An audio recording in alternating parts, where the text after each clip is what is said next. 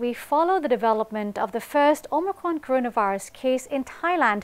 After the case was announced earlier today, the Ministry of Public Health said the patient currently displays almost no symptoms but remains under close observation.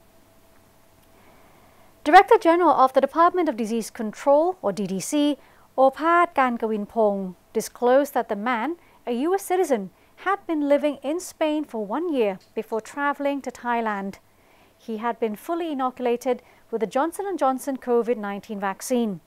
His pre-departure RT-PCR test did not produce a positive result prior to his arrival in the kingdom on November 29th. Upon entry, a separate RT-PCR test turned up positive for COVID-19. This was then confirmed on December 1st, with lab tests pointing to a 99.92% probability of having contracted the Omicron variant.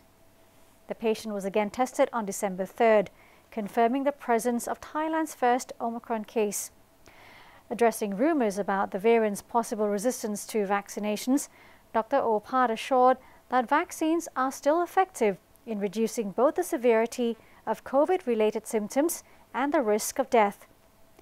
The Centre for COVID-19 Situation Administration has meanwhile reported 4,000 new cases of COVID-19, with 22 new fatalities and 6,450 patients making full recoveries. According to the latest reports, the national tally stands at 2,145,241 cases and 20,966 deaths.